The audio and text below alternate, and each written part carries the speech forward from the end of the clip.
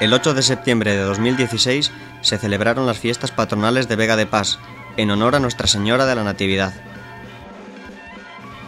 A las 12 se celebraba la Santa Misa cantada por la Coral Virgen del Soto y posteriormente la procesión de la Virgen desde la Plaza Doctor Madrazo al cruce. Acompañada por numerosos fieles, destacaron hombres y mujeres vestidos con trabajados trajes regionales. Los hombres con el típico traje pasiego, con montera y palanco, y las mujeres vestidas con sus mejores galas, alguna acompañada de cuébano niñero.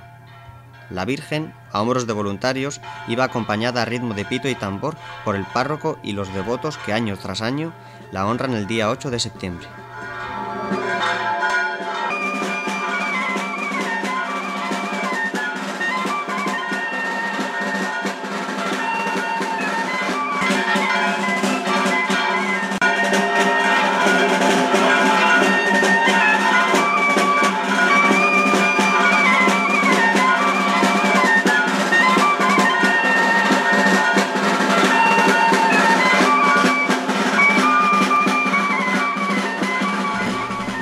Durante toda la mañana, en la finca del Cruce, se celebró la decimoprimera exposición ganadera, que se viene realizando en las fiestas de septiembre ininterrumpidamente desde el año 2006.